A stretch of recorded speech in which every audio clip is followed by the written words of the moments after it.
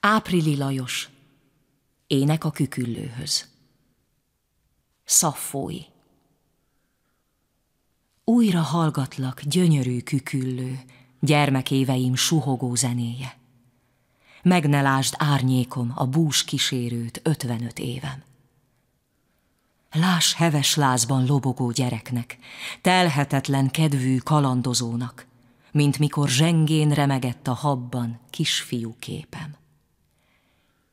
Szűzmezőit hűs magasába hangot hívta lábam, s vadzuhogók csodái, ingolát lestem, s habalá merülő vízirigókat.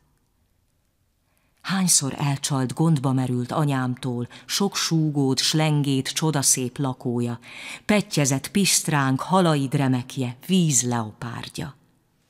Tenger árját túlsuhogó morajjal, városokból vissza vizem te hívtál, zsibbadó lelkembe te záporoztad, fuss Budapesttől.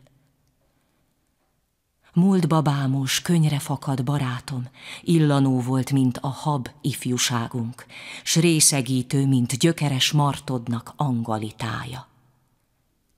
Engem ígéz, mint fiatal szerelmest, lüktető sok kebled emelkedése, s úgy súgom, hogy billegető se hallja. Drága küküllőm!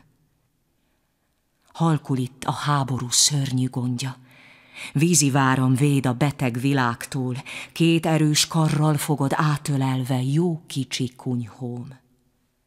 Aki megbántott, ide jöjjön, áldom, s békeszóval várom az érkezését.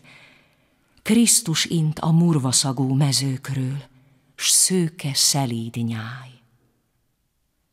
Isten is jobban szeret itt, a hangja dobban olykor egyet a mély vizekben, azt dobbantja, szebb nekem itt az élet, s szebb a halál is.